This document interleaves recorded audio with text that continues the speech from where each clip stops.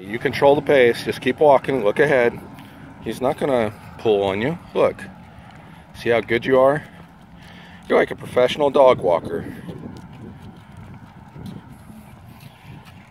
You're just controlling that pace.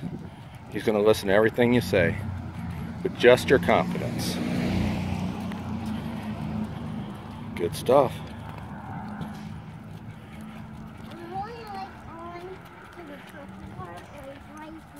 All right, go ahead and give him a little nudge. Let him know who's boss. Come on.